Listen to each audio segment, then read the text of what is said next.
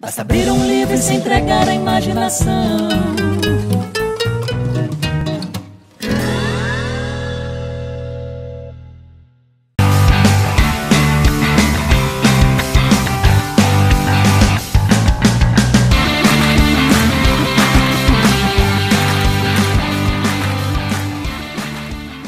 E aí, pessoal do Casa, tudo bem?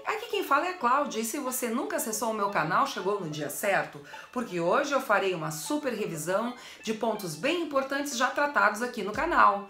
São as famosas dicas de como estimular o gosto pela leitura em nossos filhos. Então vamos lá, dica número 1. Um. Leiam para os filhos de vocês desde que eles são bem pequenininhos, desde que eles são bebês.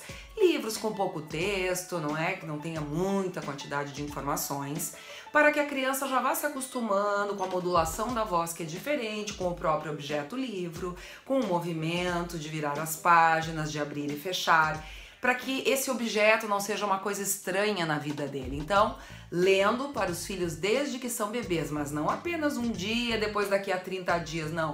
Isso deve ser um hábito, de preferência todos os dias, até que ele cresça e seja autônomo nesse processo, ok? Dica número 2. Vocês precisam ser leitores, pais. Vocês leem? Não? Puxa, isso é um problema, porque os filhos precisam enxergar vocês lendo. Já sabem, né? Um exemplo vale mais do que mil palavras. E se você, pai, mãe, estão enferrujados, que tal se associarem de clube de livros? Hoje existem muitos por aí. Eu sou sócia de um, a Tag Livros, vale muito a pena. Mas há outros, se vocês não quiserem, basta pesquisar na internet. É uma maneira de vocês se estimularem, porque todo mês um livro novo chega em casa com uma caixinha, todo bonitinho. Os filhos veem esse movimento, ó, oh, tá chegando o livro. E também é uma maneira da gente se obrigar a, a estar sempre lendo, porque todo mês chega um livro novo. Se não, gente, se associem de bibliotecas públicas, comunitárias e ó, bora lá ler. Porque se os filhos não enxergarem vocês lendo, como vocês vão poder cobrar dos filhos, certo? Dica número 3. Leve os filhos de vocês a eventos literários, como feiras de livro, a bibliotecas, a livrarias, para que os filhos de vocês estejam sempre imersos num ambiente que respira, transpira literatura. Isso nunca deve faltar na rotina de vocês, porque é mais um elemento para motivá-los, ok? Dica número 4. Vocês já pensaram, pessoal, como é importante quando há as festinhas de amigos, de escola, que ao invés de ficarem comprando qualquer presente, vocês podem comprar livros? É uma outra maneira de seus filhos perceberem o quanto isso é um objeto de valor, uma coisa importante na vida de vocês e que vocês também querem compartilhar com outras pessoas. Então, se, se, está dentro do orçamento da família, dentro do bolso de vocês, comprem livros, distribuam livros, gente, isso faz toda a diferença, ok?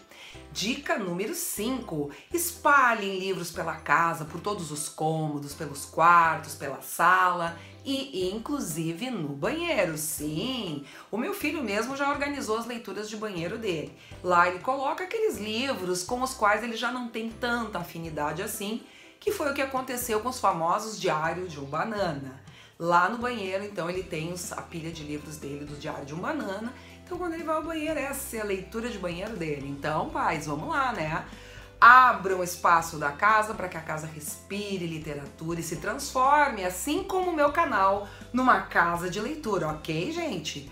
Dica número 6 Conversem sobre os livros que vocês estão lendo, compartilhem as histórias, falem sobre os personagens, se vocês estão gostando do livro, se vocês não estão gostando. Isso aí é bem importante, pessoal, porque isso vai assim fazendo com que a família fique compartilhando, se envolvendo com as histórias, não é? De, daqui a pouco o filho quer ler um livro que vocês estão lendo. Isso aconteceu muito aqui em casa com esse livro que está ali, ó, na minha estante o Maus, eu já falei sobre ele, não é? Que é uma graphic novel, fala sobre o nazismo, bem interessante. De tanto eu falar sobre esse livro que eu amo, o meu filho acabou lendo e adorou. E ele tem apenas 12 anos, ok?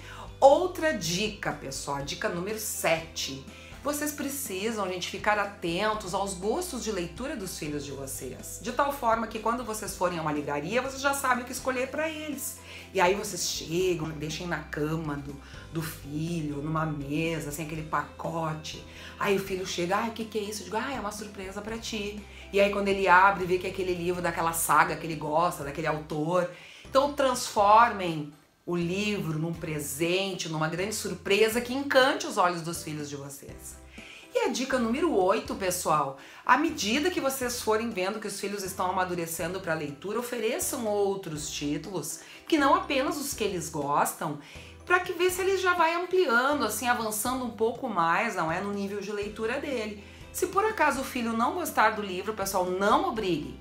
Deixem o livro lá, mostra, numa estante, próximo a ele, para que ele possa um dia, quem sabe, se aproximar desse livro e ler. E se por acaso ele não quiser, pessoal, sem drama, sem pressão, porque livro é que nem filme. Às vezes a gente indica, as pessoas gostam, outras não gostam. E a literatura não pode se transformar num fardo, pessoal, tem que ser uma coisa prazerosa e que nos bote para cima. Ok, gente? Essas são as dicas de hoje. Então, Bora lá transformar a casa de vocês numa casa de leitura, cheia de literatura, de personagens, de emoção, de histórias, assim como é o meu canal. Até o nosso próximo caso, eu espero que vocês tenham gostado das dicas. Beijo grande! Nossa casa é feita de muita gente, é uma casa cheia de amor. Um livro aberto é o seu telhado, cada história é um corredor. Às vezes é castelo, cidade ou bosque encantado. Quem entra vira fada, ogro e dragão. Basta abrir um livro e se entregar à imaginação. Habitar a casa de leitura é entrar na aventura. Acreditar em bruxas, princesas, magia e no mundo da fantasia. Cada página aberta é uma nova descoberta Personagens vivem e tudo se completa. Basta abrir um livro e se entregar à imaginação. Basta abrir um livro e se entregar à imaginação. Basta abrir um livro e se entregar à imaginação.